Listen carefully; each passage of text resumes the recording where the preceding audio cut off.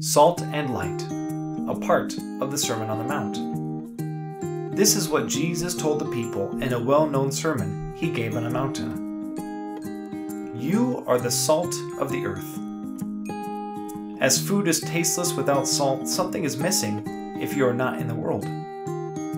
If salt itself becomes tasteless and you can't spice anything with it, what is it good for? You simply have to throw it away. You are the light of the world.